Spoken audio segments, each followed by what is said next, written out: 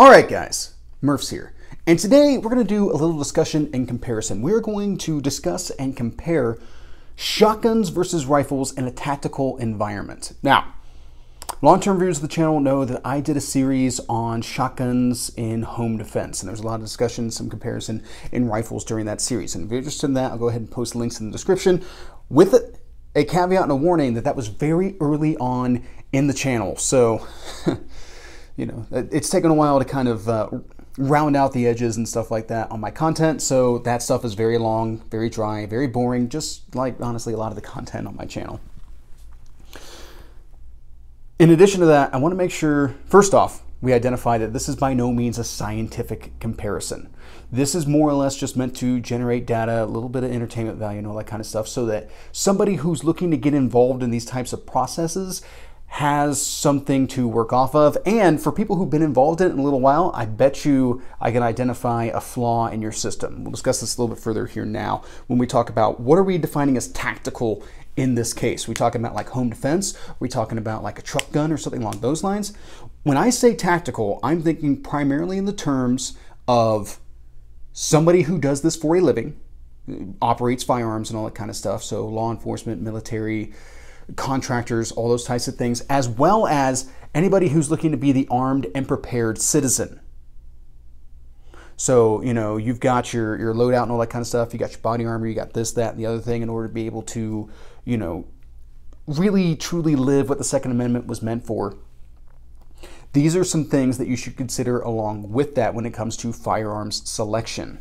Because there's a lot of myths, there's a lot of old information out there about how shotguns fit into type things, these types of things, which is not to say that shotguns do not. That's not where I'm going with this.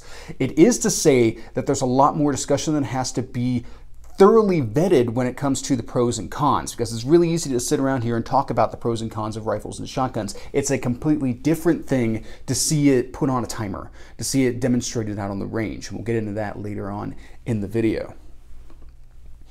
Now, first off, guys, when it comes to the kind of tactical use of shotguns, be it by the prepared citizen or the qualified professional, shotguns out predate rifles. I mean, you start off with smoothbore weapon systems, you know, matchlocks and flintlocks and all that kind of stuff. It was very. It didn't take much effort for someone to be like, man, I could shove more than one projectile down this barrel. You also have things like the blunderbuss, where it was like, man, this thing is wide enough, I could shove anything down the barrel and turn it into a little, little deck clearer. If you're thinking about it in a naval type sense. The benefits of shoving multiple projectiles down a bore became very clear whenever it came to shooting at like birds or other fast moving animals, which is why early shotguns would be referred to as fowling pieces, because by having multiple projectiles, you increase your overall hit probability.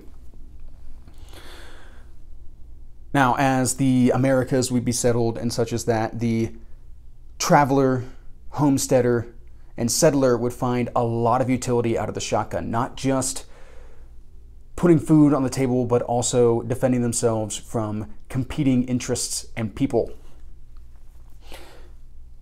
The shotgun would become pivotal in many different like colloquial terms and stuff like that. Like uh, for instance riding shotgun. That refers to the person that rode next to the guy driving a stagecoach which allowed that guy to continue to handle the team while somebody else was responsible for the defense of the stagecoach Shotgun blast refers to the shotgun's destructive power and also its ability to be able to project that destructive power over a wide space. So if you shotgun blast something or you know, shotgun pattern something, you're throwing out a lot of options all at once or you're getting hit with a lot of things all at once. The shotgun would be the police officer's best friend throughout the 19th, 20th, and into the 21st century. Loved for its utility as well as uh, ability to communicate with the masses. I remember some years ago I was working with a uh, uniform division Secret Service guy, right? So guy who like you know wears the body armor and all that kind of stuff, carries tactical rifle, all those types of things. And he came up and he set down a AR in a you know zippered gun case that he had open, and you know we're working a checkpoint, and he said, "Hey man, if uh, something goes down, you probably better understand how to work that than I do. I used to be a Louisiana police officer. I'm more used to a shotgun, and it's amazing how everyone rethinks their lives whenever they're staring down the sewer pipe that is the barrel of a shotgun. So, the shotgun has also seen quite a bit of military application. It was loved and vaunted during World War One, in which the Germans actually tried to get it banned from military use for being inhumane, which is insane to me when you have a whole bunch of countries that are, you know, dropping phosgene, mustard, and nerve agents on each other, and you know somebody else comes along and says the shotgun is inhumane. That's just insane to me. It would see use in the Pacific Theater during World War II in the jungles of Vietnam, and then also use by Marines and the SAS, most notably during the GWOT. The rifle, on the other hand, is no slouch whenever it comes to historic use by private and professional alike. The rifle, or at least rifle marksmanship, is attributed to the American success in the War of Independence. The inability for the United States to adapt to emer- adapt tactics to emerging technology would account for the horrors of the American Civil War. Of course, the rifle would see all kinds of military use as we go into the cartridge age. And in the 90s, you would start to see rifles being adopted by police who came to realize that the threats that they were facing needed to be handled with something with a little bit more precision or perhaps a little bit more capacity and range and all those types of things, which is not the first time that law enforcement has run into this type of thing. If you, if you look at prohibition in the 1930s, very quickly law enforcement found themselves outgunned by gangsters when they were just run when law enforcement were just using you know 1897 pump action shotguns maybe some winchester rifles or something along those lines and you would see law enforcement very quickly adopt thompsons and bars and stuff like that in order to be able to counter that same threat from mobsters and you know all that kind of stuff.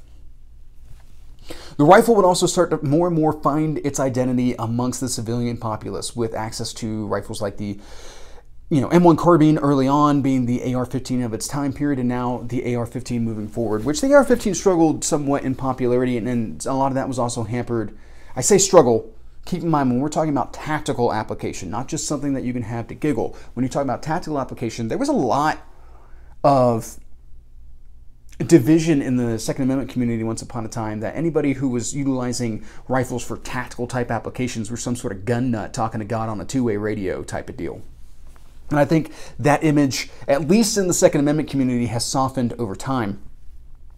The 1994 assault weapons ban would inhibit some of that, would kind of set us back a little bit. But when that sunset in 2004, we would start to see a, an expansion of the use of these the AR-15, the AK-47, you know, AK pattern rifles and all that kind of stuff in the defensive type realms. And this would very slowly gain speed as you know people viewing AR-15s as something to be able to utilize in home defense type situations.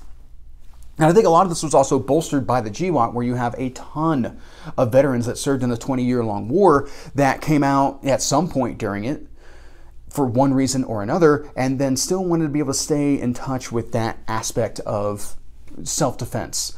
So I think that's where you see, uh, you know, this recent boom and a lot of like instructors and courses and all that kind of stuff geared towards the tactical rifle. Now, I will still say that whenever it comes to defensive type things, most people, everybody views the handgun as the most viable defensive option for the civilian practitioner of firearms because they are so portable, everybody has a, you know, everyone who's really into this type of stuff has a handgun that they can still carry at least one, has a handgun that they probably use for home defense and all that kind of stuff. But some people kind of just stop there and think that they are is as armed as somebody like myself who has, you know, quite a few different systems to be able to run. And that's not necessarily the case if you think you're trying to step into the same shoes that I'm trying to occupy, which is I am that armed, prepared citizen as well as uh, an armed professional. So it's kind of the dynamic there that you got to keep in mind.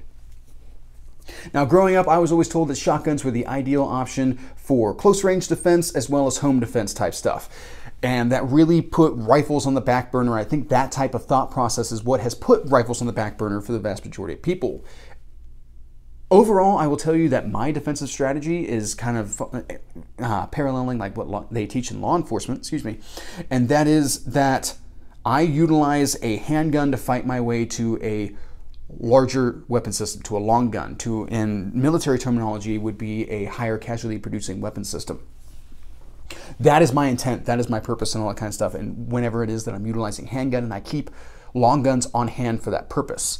Now, one more thing that I want to go ahead and identify before we get into the comparison portion of this is that when I say rifle, I mean something chambered in a rifle cartridge. I do not mean PCCs. We can do a separate conversation at another time about shotguns versus PCCs. But we are talking about true rifles in this case, something chambered in at least an intermediate cartridge, if not something larger. So AR-10s, AR-15s, AKs, PSA JAKLs, whatever it is that you're looking at, that's the type of rifle that we were talking about in this case.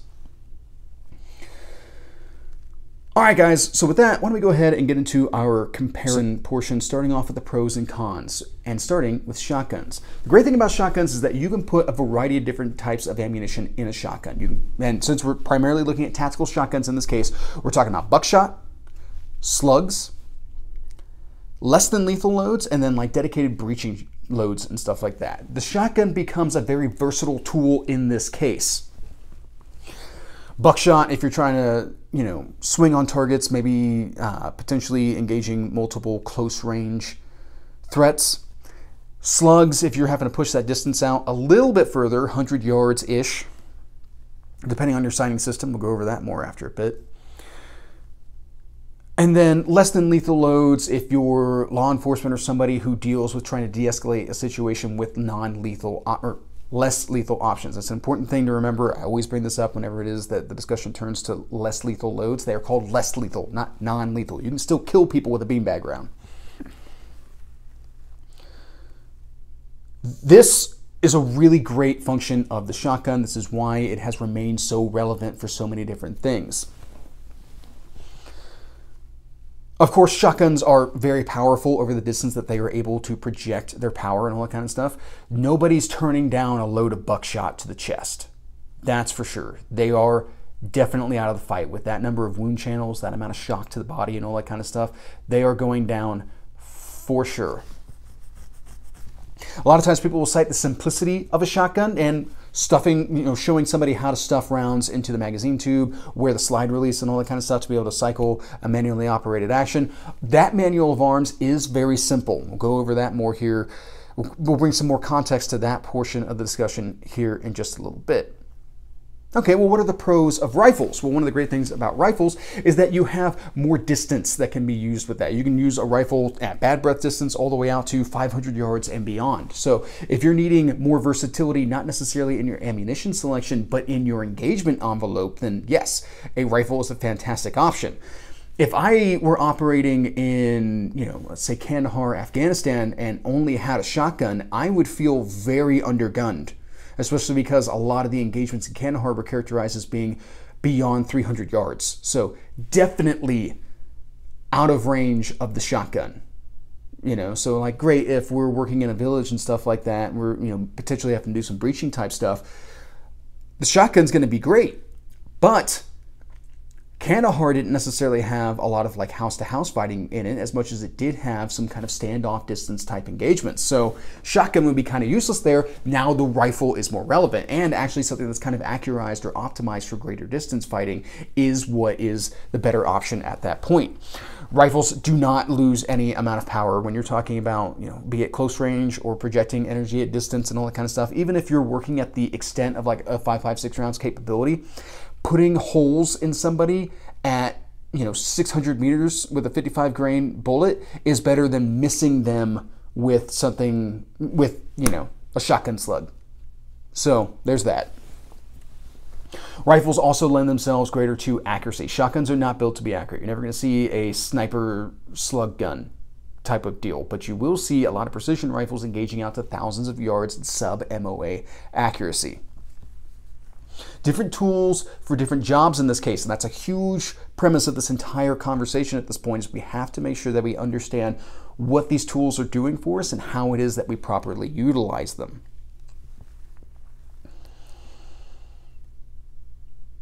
Okay, so there's the pros, very, very rapid pros. What are the cons of shotguns? Well, the problem with shotguns, in my opinion, is that they are rounds limited.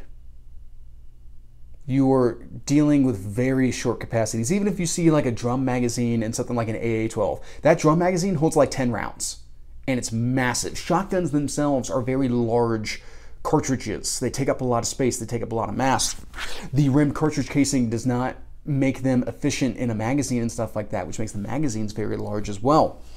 And pretty limited capacity it, on top of that. So even if you start to see these like huge banana magazines that some like competition shooters are running and stuff like that, they're still not carrying as many rounds as you would find in a 30 round magazine on a rifle. In addition to these things being rounds limited, that means that you're going to have to spend a lot of time reloading them, and shotguns are not easy to reload. When you're talking about tubular magazine designs, the fastest way to reload these is to take, you know, two shotgun shells or, or, double load or quad load, taking two shotgun shells or four shotgun shells and stripping them into the feed port as fast as you can. That's still not very fast because you have to secure that ammunition, peel it off, strip it in, peel off that ammunition, strip it in, all that kind of stuff. You could say you could solve this with those box type magazines that we discussed previously. However, there's a couple things you got to take into account with box magazines. First off, historically, magazines and rimmed cartridge casings aren't always the best fit you do increase the possibility of malfunctions at that point. And in addition to that, if you leave those magazines loaded for any extended period of time, you can run into a different type of feed issue, which is you have spring tension pressing against those shotgun shells, which are made of plastic. So that top shell is getting pressed against the feed lips and will eventually deform, which means that you'll run into malfunctions in any of the magazines that you kept loaded for that length of time that it took for that shotgun shell to deform. That's something you have to keep in mind. If this is something that you're looking to just have, you know, sitting around in your ready rack or, you know, in your police cruiser or that you have loaded up in your, your plate carrier or your, you know, your Rhodesian setup or whatever it is that it may be, if they sit in there for too long, if you don't cycle those rounds out every once in a while, you're going to run into issues. This is also something when we talk about the reloads and potential malfunction clearance is an issue with the simplicity of shotguns. I call it simple complexity. Yes, it's very simple to be able to teach somebody how to run it, but when we talk about running it fast, efficient, and tactically, it becomes very difficult. So that's why an AR-15 having, you know, maybe more switches and buttons and all that kind of stuff does give you more options to be able to run things very smoothly and very efficiently.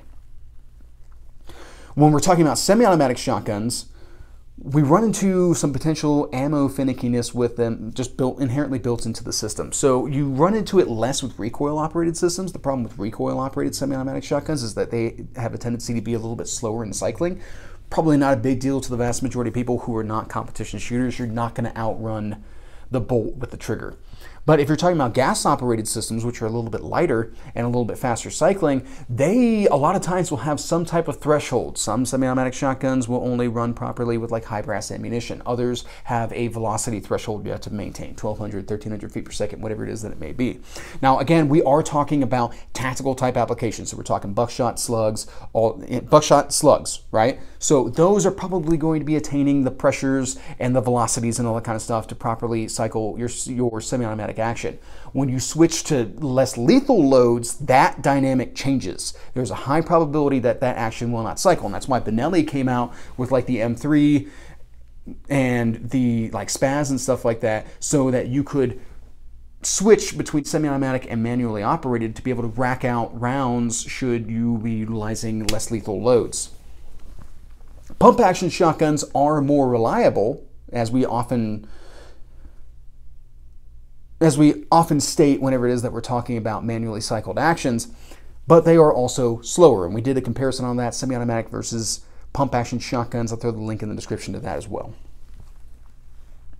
Okay, so there's the cons of the shotgun. What are the cons of the rifle? The issue with rifles becomes over penetration. If you're working, uh, say, in a law enforcement type incident, if you're working in populated areas, you know, doing like um, warrants and stuff like that, or serving warrants in you know an apartment building or something along those lines, you take your AR-15 with you, you run the risk of over-penetration. Not just through like, okay, oh, I missed my target wide and I punched a couple holes in the wall.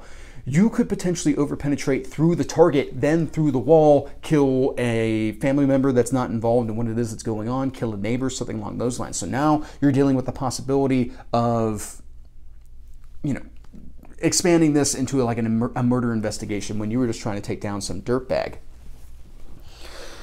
This is a very key portion of this to look at because, yeah, rifles are great at chipping away at somebody else's cover, uh, especially if you're running like a 308 or something along those lines, or a great way to complicate somebody's body armor solution. But that penetration comes with very tangible risks associated with it, which is why a lot of people might not necessarily want to utilize it for their tactical purposes if they live in a populated area.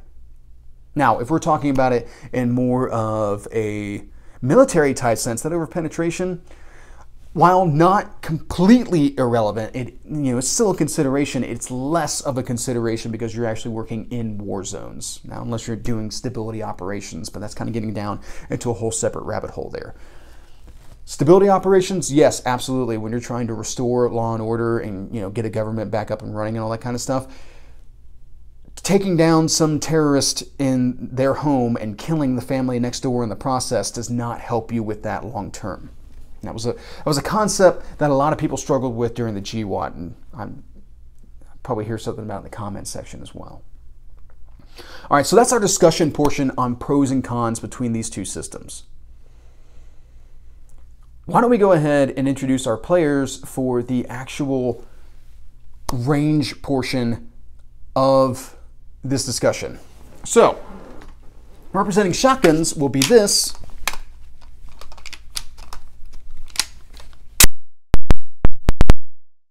that was weird, will be this Mossberg 500, chambered in 12 gauge. And representing rifles will be this SBR built on an Aero precision upper and lower set that I have affectionately termed my Splenda Gerbil, which if you're interested in reviews on this rifle, I actually have the original review as well as the update review, links in the description. Now, if we look at these two guns, we can see that there's quite a difference in how it is that they're appointed. So this is where the less than scientific portion of this comparison comes in. However, here's the deal here, guys. There are an awful lot of guys out there that have ARs that look like this with lights and optics and backup irons and all that kind of stuff, and shotguns that look like this for their home defense or tactical type needs. So that's the portion where I say, hey, guys who've been doing this for a little while should probably pay attention at this point because I have no lights, I have no optics, I have nothing on this but the bead sight and this crappy shell carrier that is vestigial at this point. I just haven't removed it for whatever reason. So, this is where you want to start to pay attention as kind of a side note to this overall discussion and comparison that we're going on on the range. Now, let's go ahead and talk about our range conditions here because there's a couple caveats we got to knock out for that as well. So we're going to be shooting three different drills at three different distances, evaluating different aspects of both of these weapon systems as indicative of their categories. One thing to note is that I'm going to shoot this shotgun entirely at steel. But for the close range portions of this, I will be shooting this rifle at my paper target. And that is because I observe a 50 yard minimum distance for engaging steel with a rifle. I am very much so paranoid of like debris from that, you know, disintegrating projectile coming back at me, let alone a complete ricochet or something along those lines. I've already got a bullet in me, I don't really need any additional. So I try to do the best that I could to replicate the same size of target on my paper target, but for the close range portions of this, the rifle will be shot on paper, and then once we step out to the long range portions of this, both guns will be shot on steel. Now, this was done off the timer, and I actually did relatively low round counts for reasons that will become apparent once we get into the actual discussion here. I kind of I kind of foresaw this as a possibility and leaned into it. This shotgun was shot with some low brass target loads, uh, some birdshot was like number eight or something along those lines. That's because first like buckshot and slugs and stuff like that are kind of expensive, but that's probably what you'd be training with anyway. The the thing to talk about here is what constitutes an impact on steel whenever it is that you're shooting birdshot. And for me, it's I have to be able to tell that the steel moved with those impacts. I put enough of that shot pattern on the steel to actually get it to swing. Anything less than that is not full impact. We'll talk about that more here. It'll play a role here more in a minute. All right, guys, so starting off with, the, or getting into the drill, starting off with our close drill. This is a drill shot at seven yards. The steel target is a C-zone size steel, and then of course the paper is as close as I could replicate a C-zone size target on paper. And we will start off with the shotgun, three rounds from the low ready. Let's see how it goes.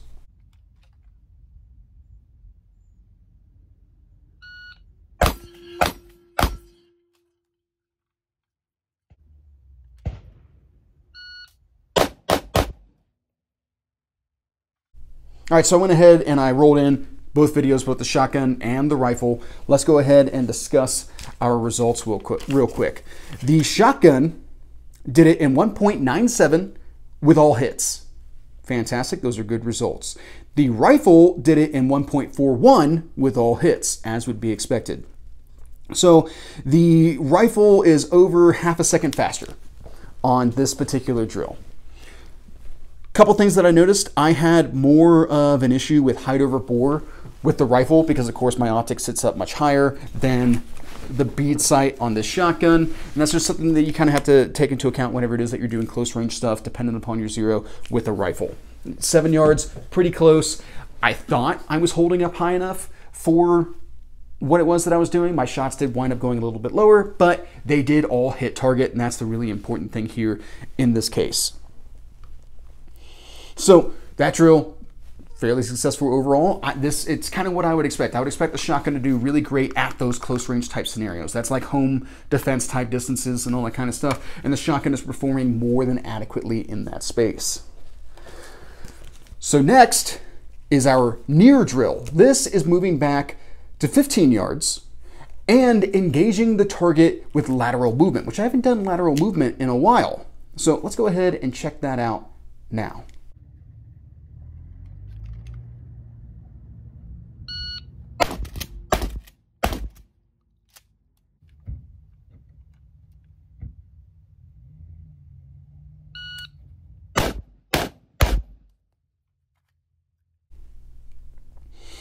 All right, so the shotgun did it in 2.16 with two misses. However, the rifle did it in 2.06 also with two misses. So it's been a while since I've done lateral movement, and I decided that with just firing three rounds and all that kind of stuff, I could reshoot this drill and try to get a better feel for what it is that's going on. So let's go ahead and check out the reshoot, starting with the shotgun yet again.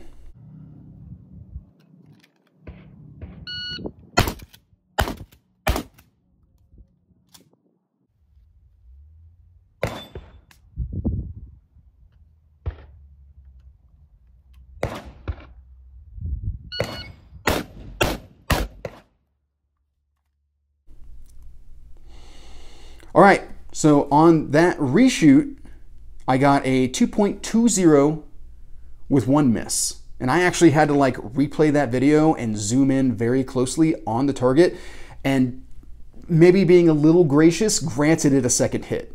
So 2.20, whereas the rifle did it in 1.29. We had a significant increase in speed, all hits this time around. Okay, However, I still didn't feel like I had given the shotgun a fair shake, so at this point, I came back through and did it a third time.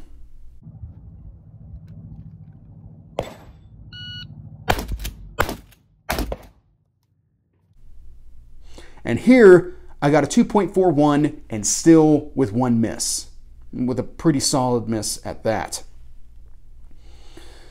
So I started to kind of question whether or not at 15 yards with this particular load and an improved cylinder choke, if there was enough of a pattern, if there was a tight enough pattern to actually swing the steel appropriately for me to be able to grade effective hits. So I just dumped three rounds on it real fast.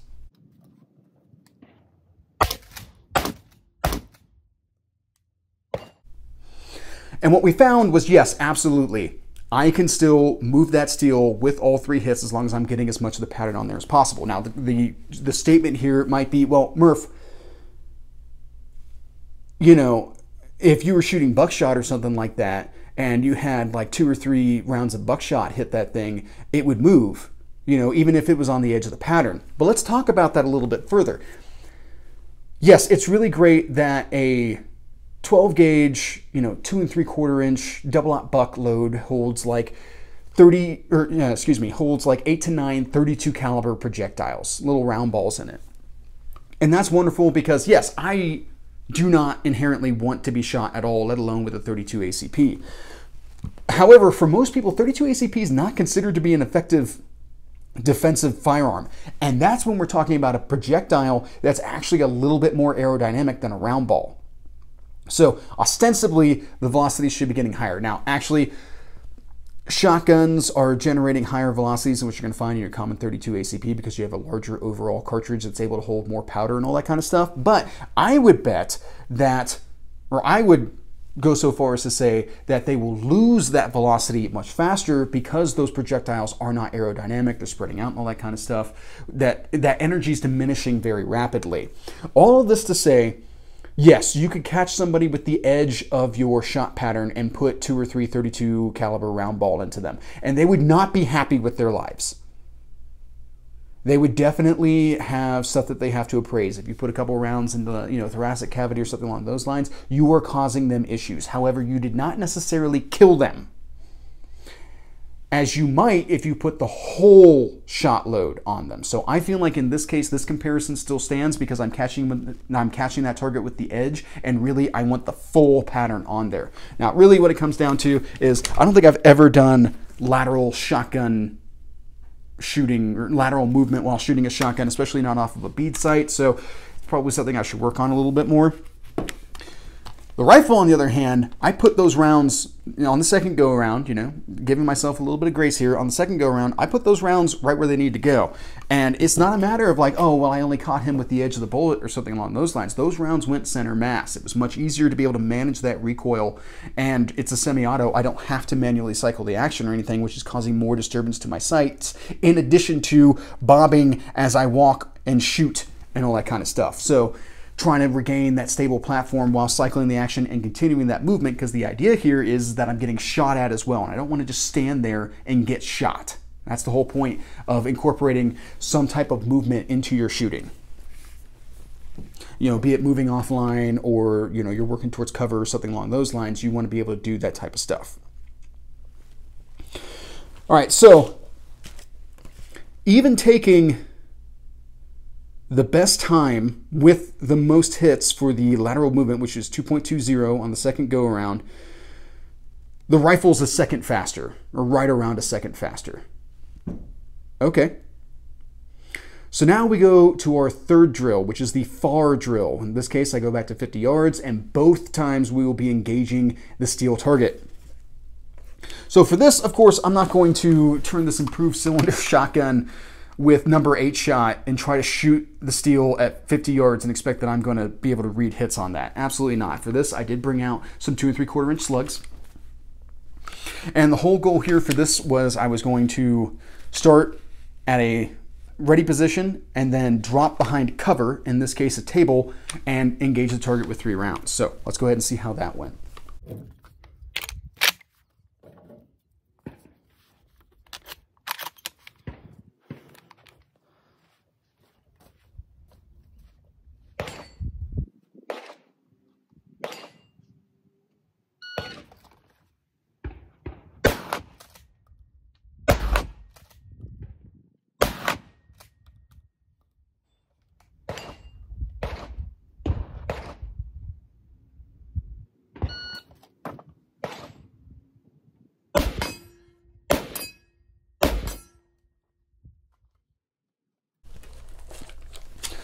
All right, guys. So for the far drill, the shotgun did it in 6.41 with two misses, whereas the rifle did it in 5.35 all hits. So again, we have a second difference between the two guns, with the rifle proving to be more accurate. Now, once again, I'm shooting a bead sight at 50 yards, I'm pretty happy that I hit the target once. I kind of hoped I'd hit it more than once, but you know, be it as it may, that's how things worked out in this case. If I'd had an optic on this shotgun, it would have been a different outcome, I am sure. And of course, The Splenda Gerbil had absolutely no problem. 50 yards for this type of rifle is just absolute cake. There's there's no way that this gun would not perform well. I've taken it out to further distances and it has performed just as well. So very easy win for the Splenda Gerbil. Why don't we go ahead and talk about the results here a little bit. The rifle in every metric was faster by at least half a second, if not over a second. Is that a big deal? Ostensibly, yes, seconds count.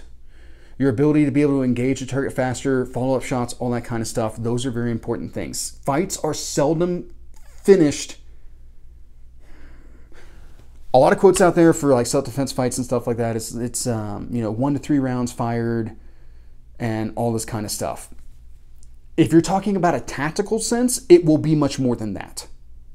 More rounds will be exchanged the opponent may take more hits for them to actually go down as those rounds go into them, especially since when we talk about like a rifle and stuff like that, we run the possibility of ice picking through a target and not necessarily causing as much damage as we want to. Whereas if I put a slug into somebody at any distance that a slug can reach them, they will go down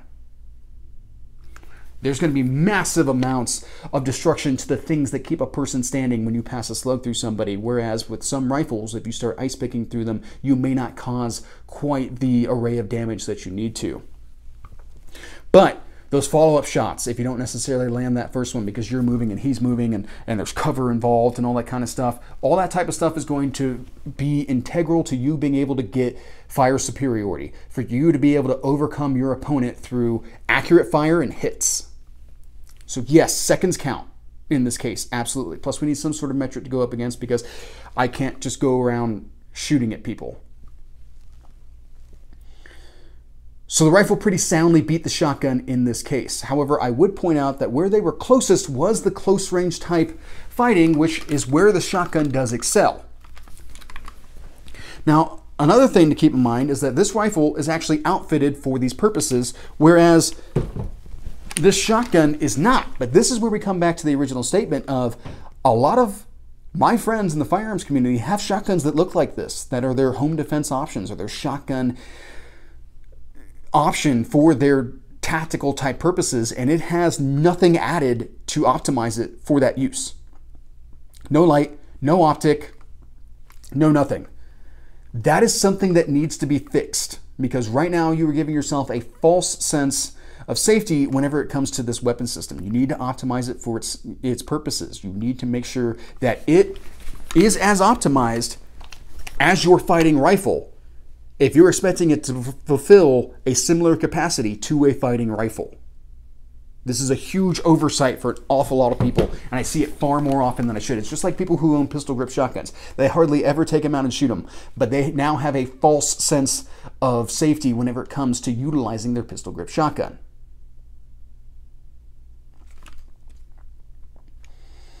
To me, that's the biggest takeaway overall from this discussion, from this review, is that this obviously needs more of my attention. I need to set this up, and it's on my to do list. I just have many, many things that are on my to do list, as always.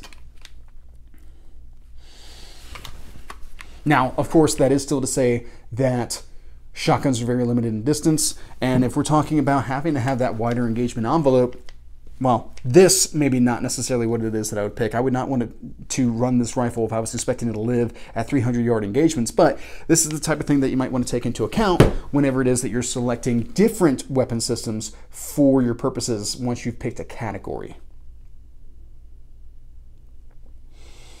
All right, guys, I think that pretty much covers my thoughts on this particular subject. I hope you guys found this interesting, and that's pretty much what I got. Have a good day.